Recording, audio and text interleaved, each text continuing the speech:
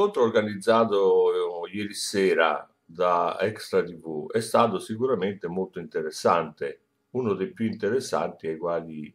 personalmente abbia assistito da quando seguo questa, questa televisione locale, che devo dire fa effettivamente delle cose carine.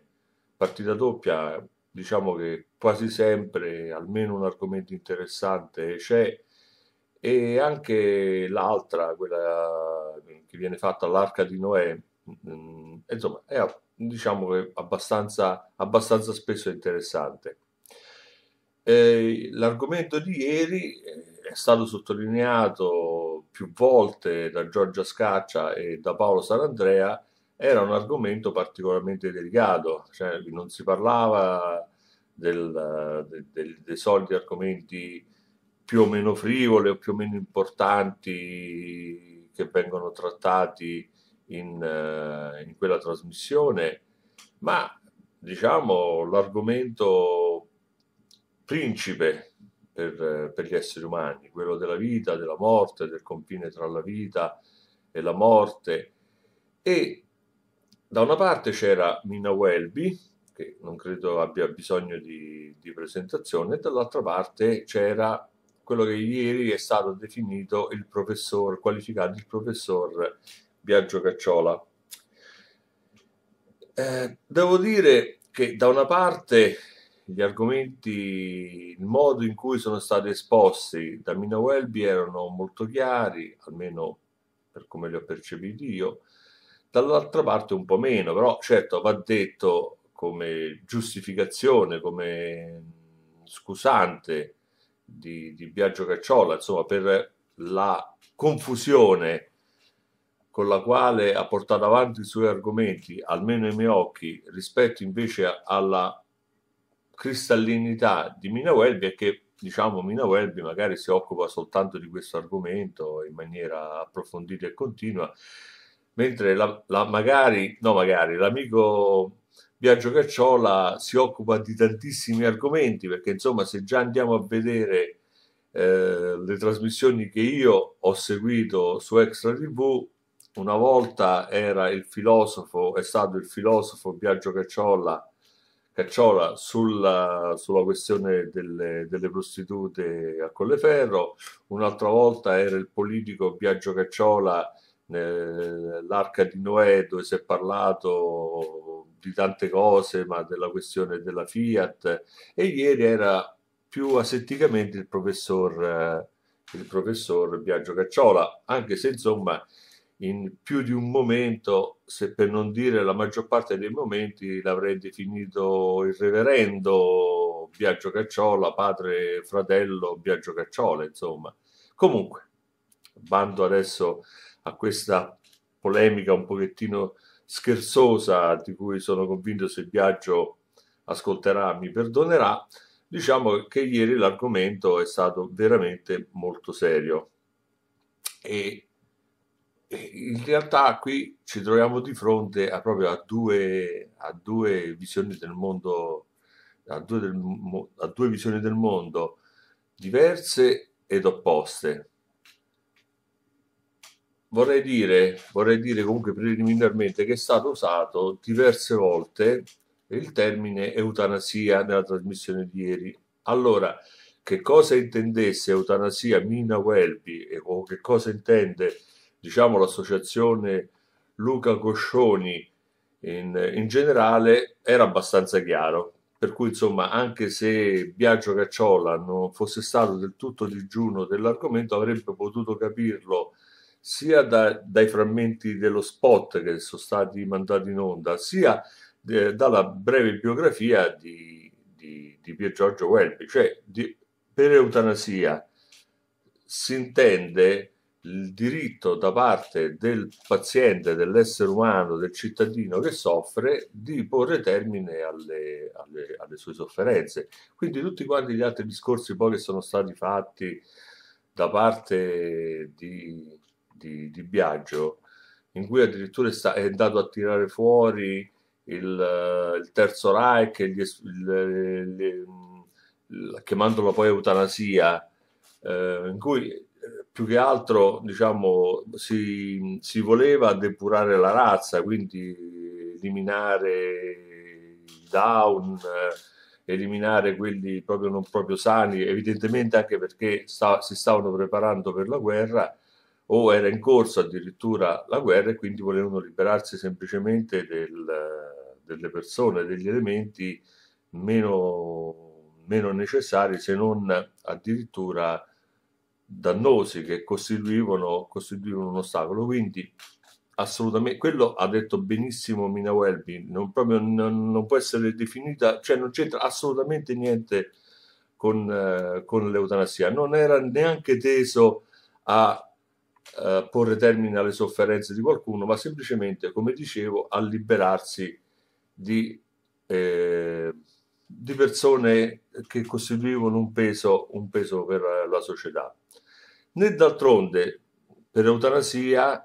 si intende, perlomeno sicuramente non l'intende Mina Welby per eutanasia, il fatto che qualcuno si impietosisca di un, di un parente, di, di, di, un amico, eccetera, e magari senza manco farglielo, farglielo capire, uno lo sopprime. No, non era questo qui l'argomento e non è quello che viene, eh, che viene chiesto da parte della, della per quello che ho capito io, da Mina Welby e dall'associazione Luca Coscioni. La questione è, per come l'ho capita io, semplicissima, cioè se una persona ad un certo punto ritiene che la propria vita non, non sia più vita, eh, ha, ha, o meno il diritto di chiedere che possa, poi specialmente se non può, non può farlo da sé, come è il caso di per Giorgio Welby, che essendo del tutto paralizzato, non poteva neanche suicidarsi. Dico, ha più o meno il diritto di chiedere alle, alle persone che gli stanno intorno, ai medici, di porre, termine, di porre termine alla sua vita? E questo qui è il quesito. E ha il diritto lo Stato, nel momento in cui c'è un medico o qualunque altra persona che interviene per eh, aiutare, insomma, per, per soddisfare la richiesta di questo, di questo paziente di, terminale, più o meno terminale, insomma, diciamo terminale, che sta soffrendo, ha il diritto o meno di punirlo per omicidio? Questi erano i quesiti in realtà che poneva, che credo ponga sempre Mina Welby. Allora, tutto quel discorso che ha fatto Biagio sulla statolatria, sul fatto che lo, lo, Stato non deve legiferare, ma lo Stato già legifera, perché se nel momento in cui eh, dice che quello è omicidio, ha già legiferato. Non è vero che eh, lascia lavorare in santa pace, non sono i medici che decidono tra di loro se un caso è omicidio e l'altro non lo è, no, è a un certo punto il, il, codice, il codice, penale che, il, che, lo stabilisce, che non ammette proprio che si possa porre termine alla vita, che, o sì, che si possa porre termine alla vita volontariamente, quindi, quindi già lo Stato interviene, interviene sulla questione. Non è che dice alla classe medica, vabbè, è una cosa che ci dovete pensare voi, per cui mh, decidete voi se dovete fare il giuramento di Ippocrate, se non lo dovete fare, eh, valutate magari con un collegio medico se una persona possa essere aiutata a morire o se si debbono interrompere le, le cure, la, il cosiddetto accanimento terapeutico. No, il codice penale parla chiaro e quindi eh, si tratta di decidere se va più o meno a, a, vanno più o meno abrogate quelle norme che consentono al, a, al magistrato a un magistrato a, di procedere penalmente contro un medico che aiuta un paziente a morire. Questo è il quesito. E in qualche modo diciamo che Biagio in una parte diciamo abbastanza relativa del suo intervento dei suoi interventi ha risposto cioè nel senso che la sua risposta è stata negativa perché Biagio ha una visione della, della vita che poi a quanto ho capito personalmente c'ha anche Mina Welby perché insomma Mina Welby anche la, la presentazione ha mostrato che era contraria al fatto che il marito, il marito eh, insomma, mh, ricorresse all'eutanasia. Addirittura ci è stato raccontato che non ha rispettato la promessa che aveva fatto a Pier Giorgio di non chiamare soccorso proprio per, per evitarlo. Vabbè, insomma, quello che vedendo, vedendo la trasmissione, la bella trasmissione di ieri, chiunque, chiunque può, può vedere senza che io lo racconti di nuovo. E Biagio ha esposto, questa volta devo dire, in altre occasioni ha esposto uh, la dottrina cattolica, l'ideologia cattolica, diciamo un po',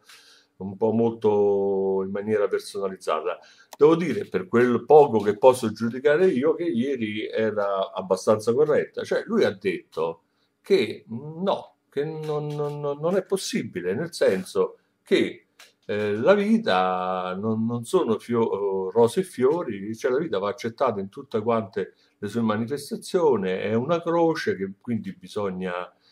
eh, bisogna caricarsi sulle spalle e che quindi niente, oh, se uno il suo destino è quello dei suoi, eh, dei suoi familiari, dei suoi cari e che debba eh, arrivare alla fine della vita in maniera così soffrendo, vabbè, vuol dire che era, era destino e lo deve accettare perché tanto è un passaggio non è che finisce tutto qui, che c'è, c'è l'aldilà, non so se poi crede al paradiso, all'inferno, al purgatorio, questo non lo so,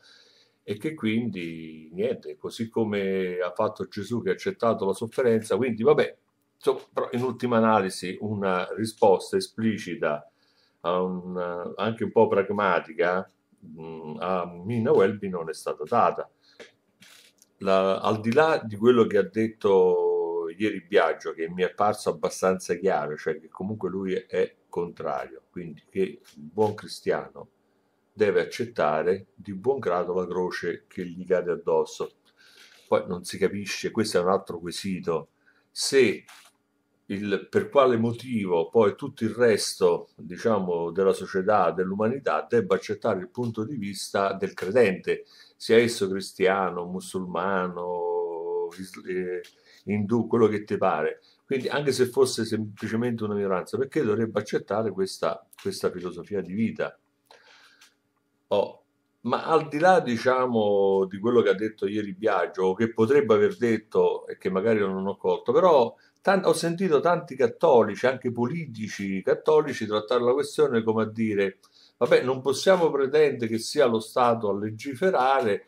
in ultima analisi si può fare, però ecco, cioè come a dire, Welby poteva tranquillamente non, non sta a fare tutte queste storie, insomma, che nessuno gli avrebbe detto niente. Eh, se qualcuno gli avesse staccato la, la, senza dire niente, senza stare a proclamare, senza, senza fare nessuna battaglia politica se qualcuno gli avesse staccato la macchina o addirittura gli, ave, gli avesse messo un, un, veleno insomma, nel sangue, nessuno ci avrebbe pensato a denunciarlo, il che probabilmente accade in, in centinaia, forse migliaia di casi l'anno. Però voglio dire che al di là, diciamo, dell'ipocrisia, che si può anche accettare, perché poi alla fine eh, tante cose si basano sull'ipocrisia e vanno avanti per, per, per secoli e, e, alla fine possono anche essere funzionali alla vita eh, degli esseri umani. Però, insomma, non è detto che poi qualcuno invece, per qualsiasi motivo, invece alla fine venga perseguito, perseguito penalmente. E poi, appunto, quello, perché secondo me, perché quando io tante volte ho letto interventi di persone invece che soffrono, che stanno male come Welby o di più e dicono no, ma noi, stiamo, noi invece vogliamo vivere, è che secondo me viene inoculato l'idea che una volta passato il principio si potrebbe diciamo arrivare al, pass- al passaggio successivo per cui alla fine si potrebbe procedere a eutanasia o diciamo meglio alla soppressione di persone che magari soffrono e non, e non però non, vogliono continuare a vivere. E quindi diciamo un pochettino come quello che veniva denunciato da Biagio e anche da Mina Welby riguardo alla politica di, di, di epurazione del Terzo Reich, ma voglio dire, è, è semplicemente buttarlo in caciara perché non è, non è di quello, di, quello che, di cui si sta parlando. Dopodiché è chiaro che i pericoli stanno dappertutto perché la Chiesa accetta per esempio la, l'espianto, no? i trapianti, addirittura il Papa dieci anni fa, fino a dieci anni fa si era messo nella lista, adesso è stato detto che siccome il Papa non può